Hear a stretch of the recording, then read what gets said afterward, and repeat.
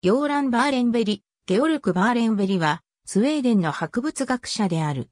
カールツーンベルクの後を継いで、ウプサラ大学の博物学の教授を務めた。フィーリップスタードのクロパで生まれた。1792年にウプサラ大学で医学の学位を得た。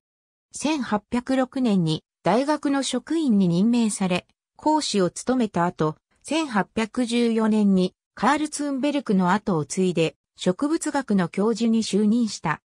バーレンベリは、リンネ以来の包括的な自然科学の教授職に就いた最後の人物で、自然科学の教授職は、専門の文化が進んでいくことになり、植物学の分野に、ボーグストローミアン教授職が設けられ、エリーアス・フリースが就任することになる。植物学の分野で、ラップランドの植物や高山植物の分布などの研究を行い、気象と植物の分布関係や分布限界に関する論文を発表した。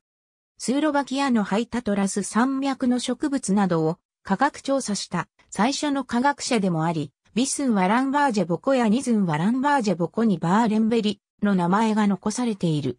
1808年にスウェーデン王立科学アカデミーの会員に選ばれた。気境家のひなぎ教族やイグサ科の種、ルズラ・ワランバーグ・ブループは、に県名されている。ワランブは、植物の学名で命名者を示す場合に、ヨーラン・マーレンベリを示すのに使われる。フェルカートスカバレーウィズ・アッパーアンドローワー・ワロンバーグ、レイクス。ありがとうございます。